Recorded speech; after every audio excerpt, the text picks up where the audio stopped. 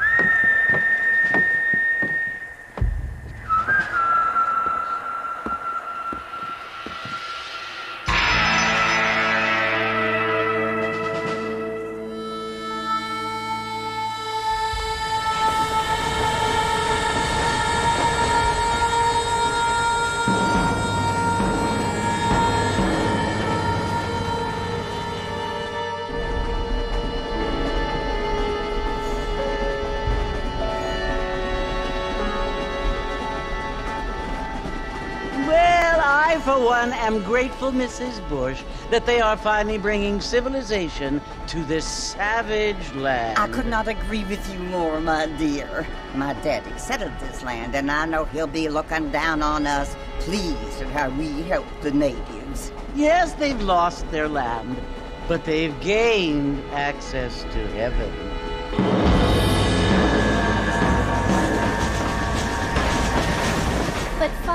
Do you mean unless an innocent receives communion, they're destined to go to hell?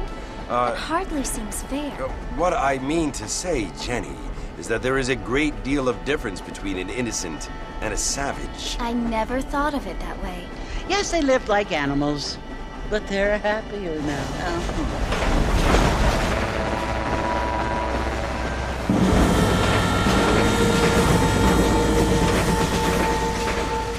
Not only do people now have motor cars, Father, but I heard that pretty soon we will be able to fly. No, only angels can fly, Jenny. No, no, apparently people can fly. Didn't you hear? Out in Kansas, a man even got a car to fly. I hardly think so, Jenny.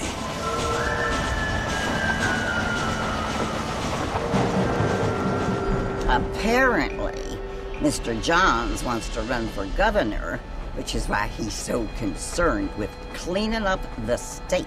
Nate Johns. Yes. His family is nothing but hillbilly trash that came here after the war. I don't want to be judgmental, but this state should not be ruled by such a disgusting family. A family without class. Apparently. But John's family have made a lot of money, and he has a lot of friends in politics. Mrs. Bush, money isn't everything. There are many things that money cannot buy. It seems that money can buy voters, though.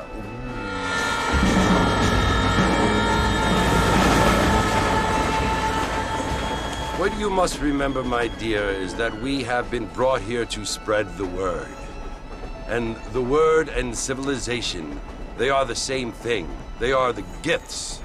It is the opportunity we have, the chance to live among people who are decent and who do not kill each other. And who let you worship in peace. It, it's so confusing, Father. Sometimes I find it impossible to make the distinction between a loving act and a hateful one. I mean, they often seem to be the same thing. Yes, Jenny, it, it is confusing. But you only have to ask me if you need help. Indeed. Well, here we are, Mrs. Bush. Armadillo.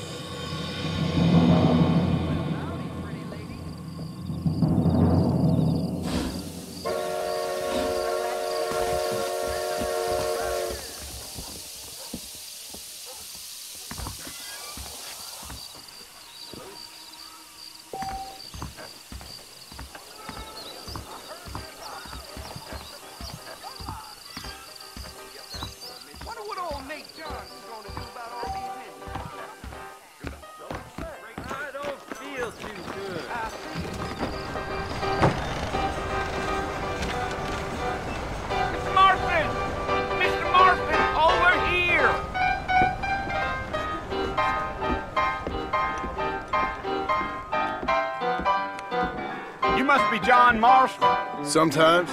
I'm Jake. Your friends from Blackwater hired me to gag you. They ain't my friends. They're pleased to meet you, Jake. I got the horses saddled up and ready out front.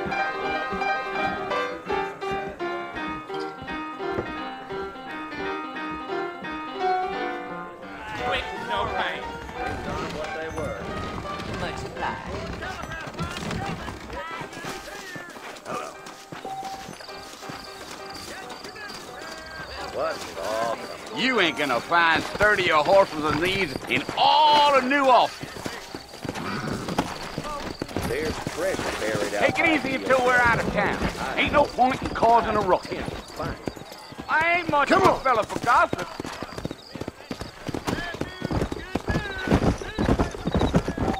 Whoa!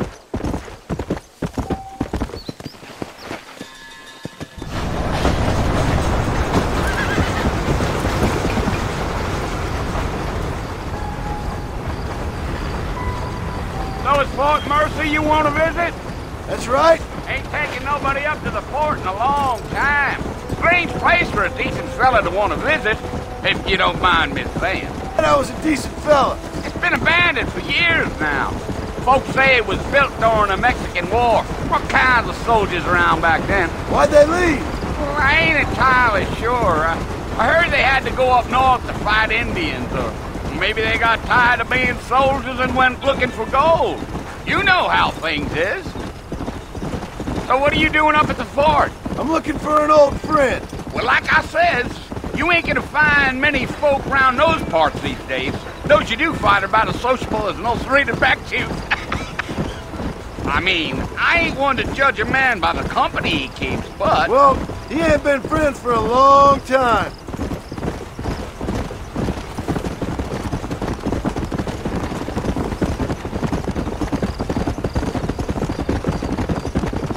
Planning on spending any time in Armadillo, Mr. Marston? I doubt it. I ain't planning on staying very long. Well, if you're fixing for some female company, you can do a lot worse than Armadillo. Fine as cream gravy they are. Not like Thieves Landing. Dang, those girls ain't even fit for a drinking man to hole up with. I'm a married man, I'm afraid. Ain't we all?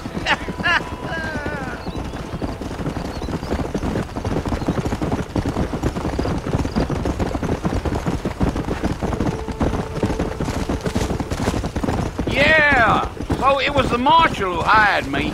Leigh Johnson. Do you know him? I think I heard his name. Says he got a telegram from some Blackwater big bugs asking for a guide. I guess it's none of my business. That's right.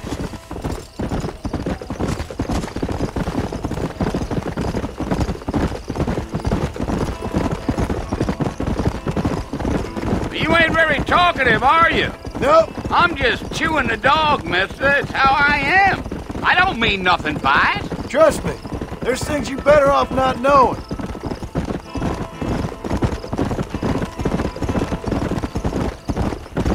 I'll tell you, Mr. Marston, those coyotes eat better than I do. Not far now. You'll see the fort when you get to the top of this hill.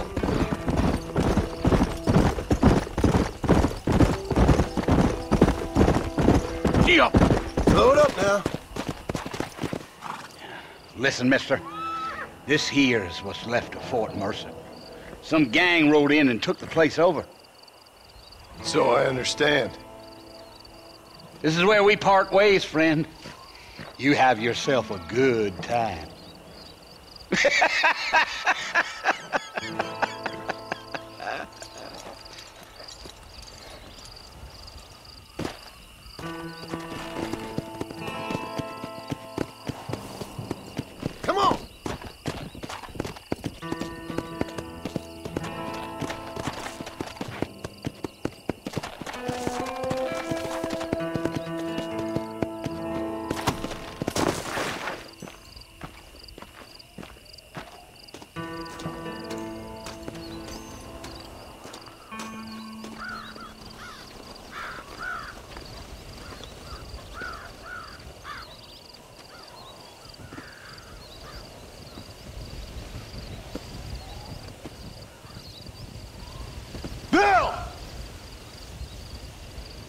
come for you!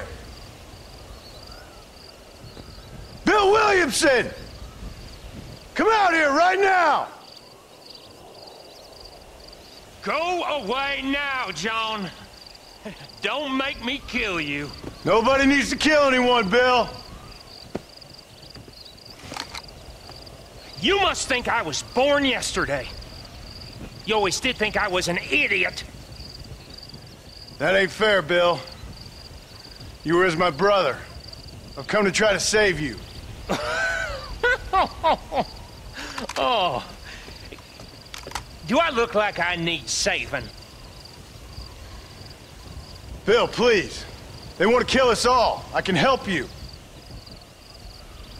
Well, you never tried to save me before. You only seemed to save yourself. Bill, I implore you think about this. you implore me? you implore me. You always were one for fancy words. oh. Well, things are different now, John. Now I'm in charge!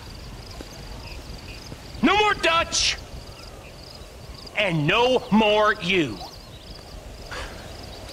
Implored. I I implores you to go back and tell them to send someone just a little bit more impressive next time. Well, Oh. Poor John.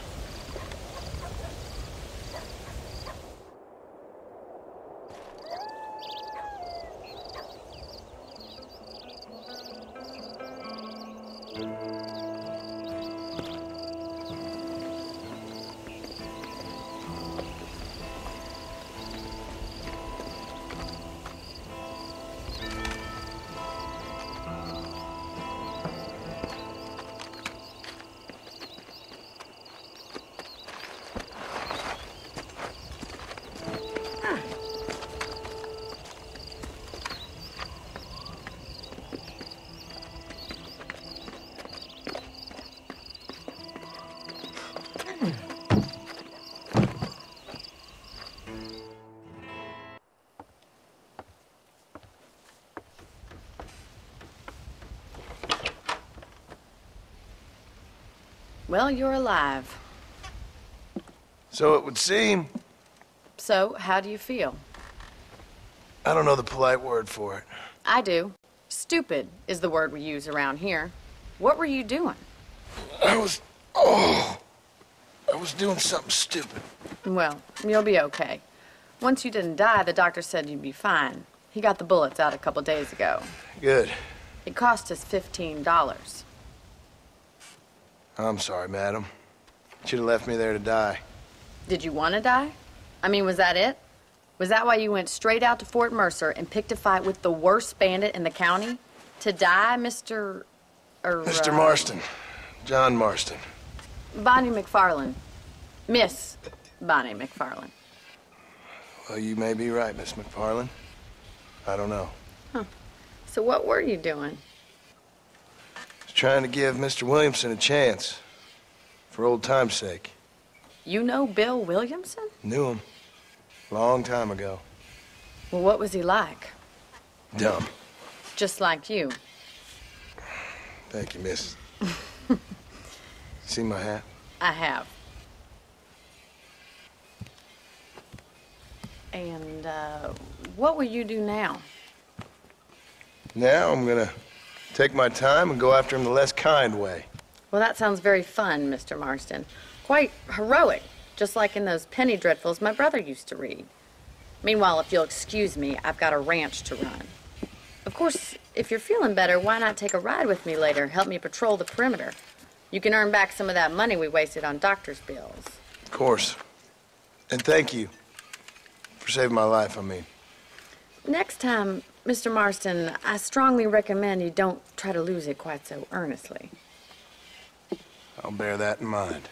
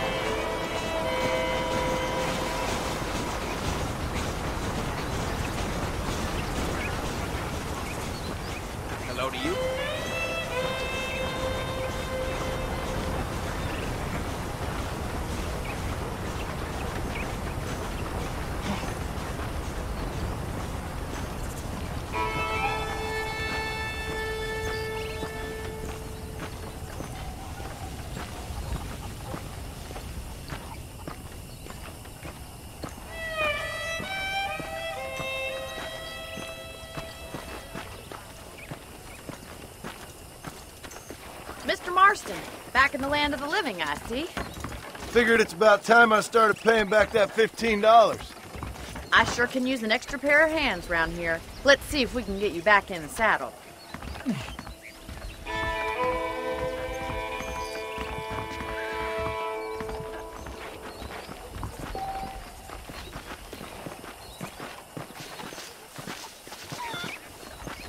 There's the foreman's office. Also where we lock up good-for-nothing outlaws, such as yourself. I'm happy enough with my current quarters right now, Miss MacFarlane. Hop on up. You won't bite. Giddy up! Come on then. I'll show you around the property.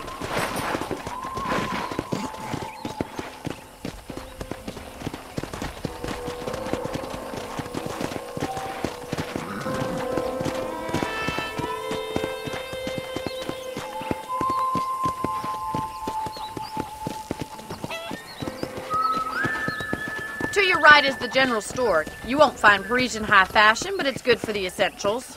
Very convenient. I don't think I've ever seen a ranch with its own store before.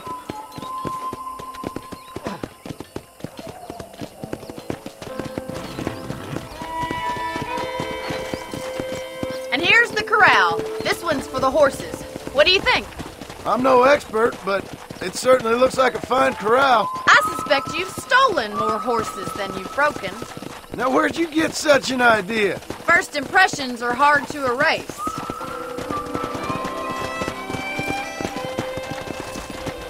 That's the train station. Things sure have changed since the line finally got finished, bringing in all sorts of new folk like yourself. Is that such a bad thing? Change is only good when it makes things better.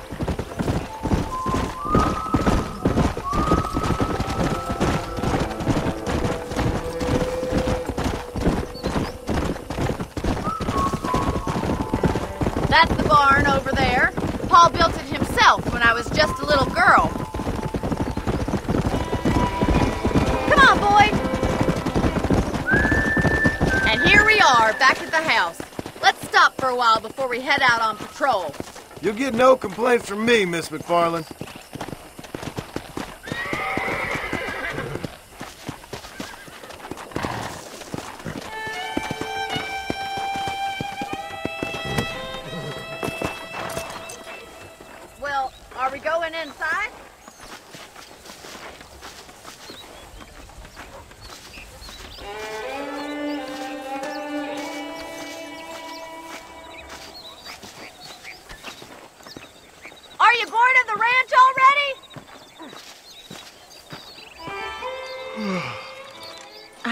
Cold drink, Mr. Marston?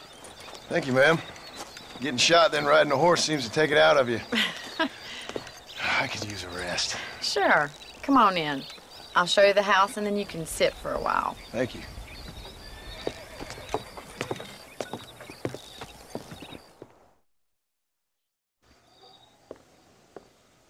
Mr. Marston, Miss MacFarlane. remember me telling you about the trouble we've been having with rustlers and other undesirables? I do.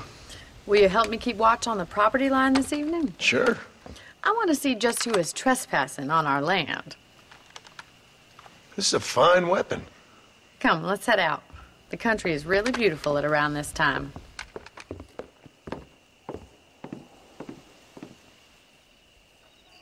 Ready, Mr. Marston? Let's mount up and patrol the ranch.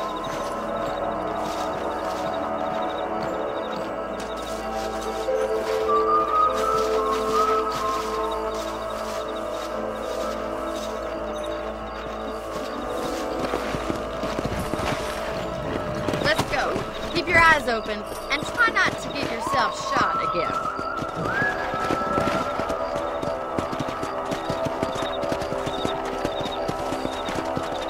Thank you, Mr. Marston. I feel a lot happier someone's along with me. I feel a lot happier now I got a rifle. Well, with your trigger itch and my feminine intuition, we should make quite a team.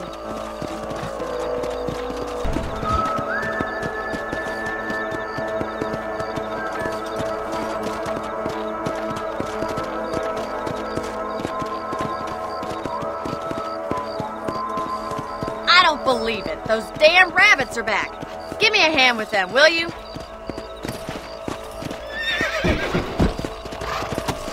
Let's see that rifle. I want a couple of these for the pop. Good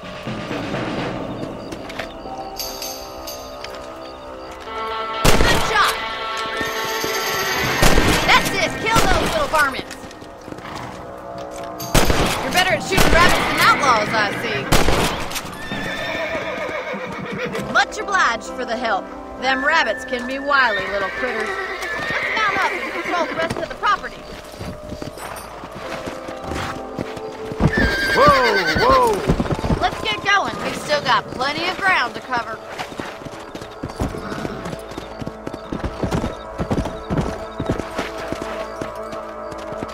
If it's not the rustlers stealing our cattle, it's the rabbits stealing our crops. It ain't never easy living off the land like this. Maybe you should move to a big city. Become a lady of leisure.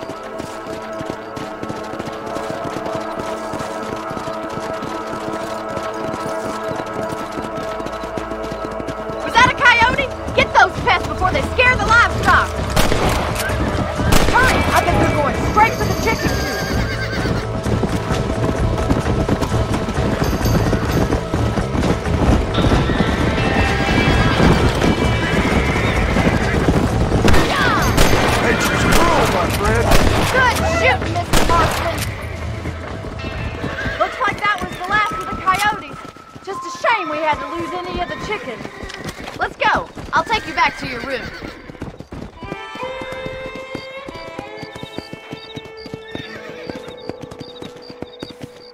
You know, you can actually handle a rifle. It's something I've had a little experience in. Maybe Bill Williamson did get lucky after all. Luck didn't really come into it, miss. You're a useful man to have around the ranch, that's for sure. But don't think I've forgotten what brought you here. We'll do whatever we can to help you. I sure appreciate that, Miss MacFarlane. Here we are.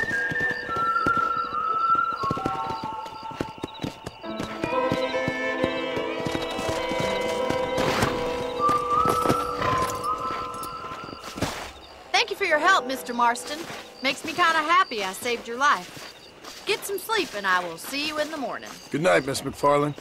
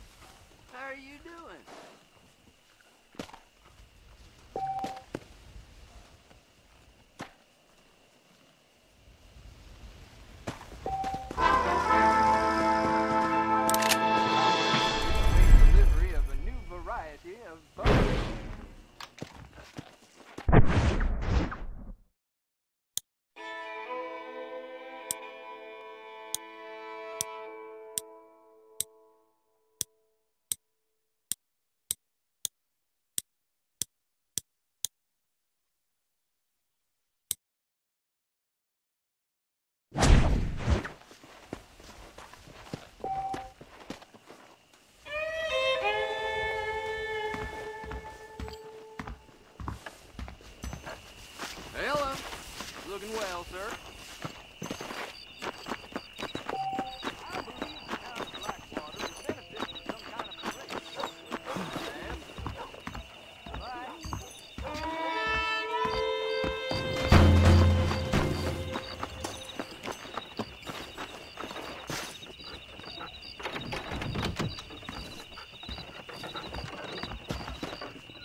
Follow Charlie. He's a good one to sniff out trouble. Stick next to the dog, mister.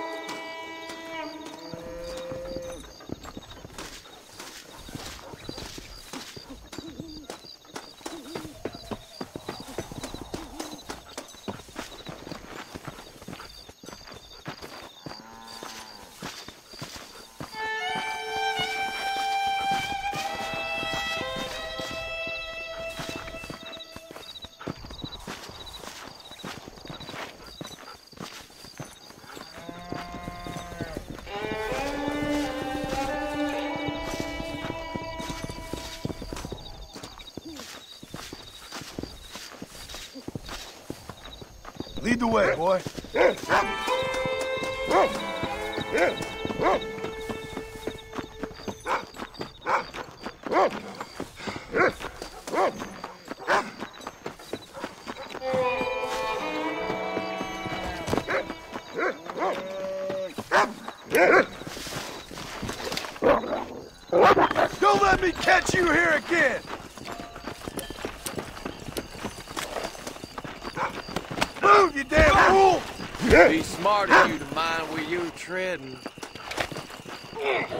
Go on and hit me right.